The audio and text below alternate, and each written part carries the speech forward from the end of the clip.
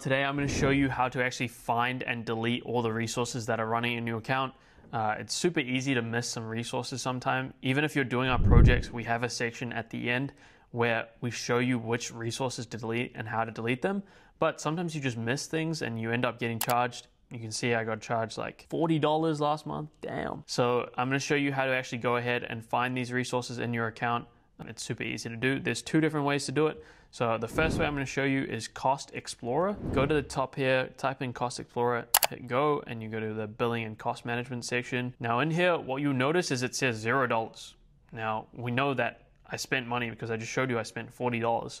So what I'm going to do is actually go down to this filters section here Maybe yours looks slightly different, but depending on the UI, AWS keeps changing it. We're gonna go into more filters here and then click on charge type. Now there's different charge types here. There's credit, tax, and usage. I'm gonna select credit and change this to excludes credit. Now, basically what this means is I work for a startup and AWS gives startups credits to use on the AWS platform.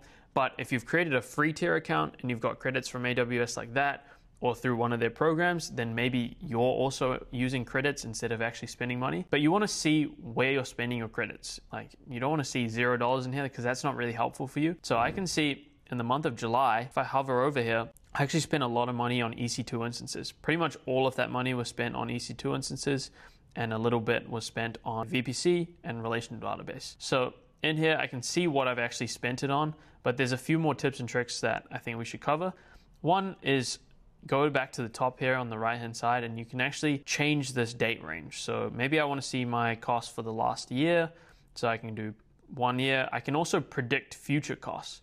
So this I find really useful because it shows me where I've actually deleted my resources and, and what I'm expected to pay this month. So you can see I went from $37.64 in July to I saw my budget because I got an email because I've set up my budget to send me an email anytime I spend over my budgeted amount. And I got that email and I was like, damn, I need to delete my EC2 instances.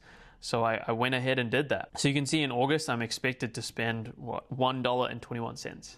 Um, which is much better. I don't really want to be spending it. Um, in July, I was spending it for a project that I was doing. In this case, I wanted to delete them. Now, in here, there's also some other things we can do. So in here right now, we just have our costs.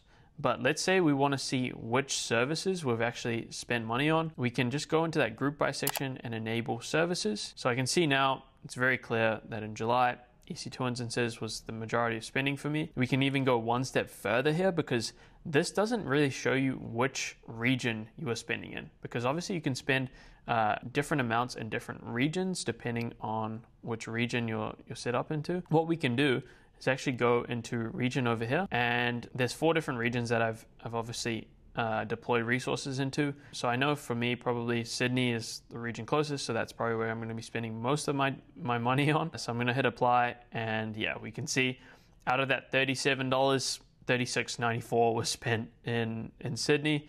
I assume very, very little was spent in US Oregon. Yep, 70 cents.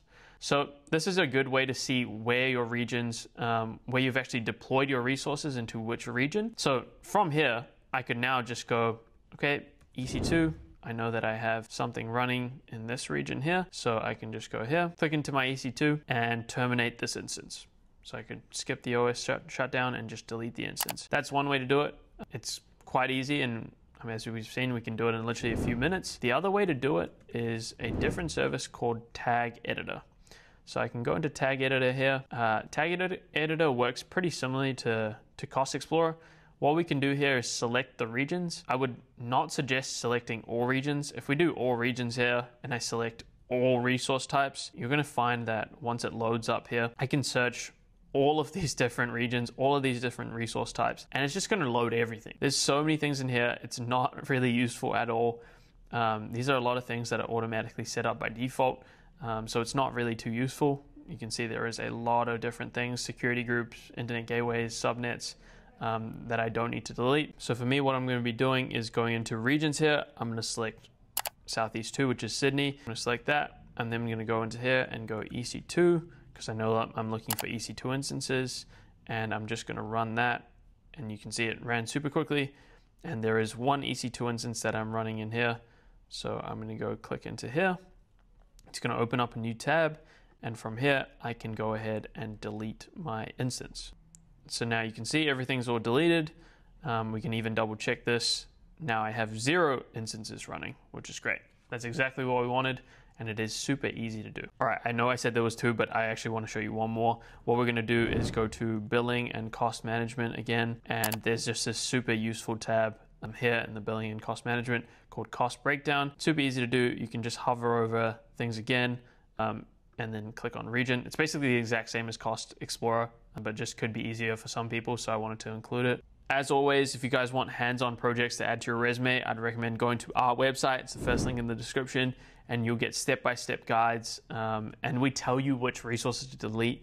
Uh, I know I said that I know I said that you can easily forget it sometimes, but it's all in the project documentation, so you won't get charged or anything like that and there is a lot of different topics that you can learn from like devops ai machine learning compute so many different ones. Uh, i love it. Um, i hope you guys have an awesome week and let me know what else you want to see in the comments below.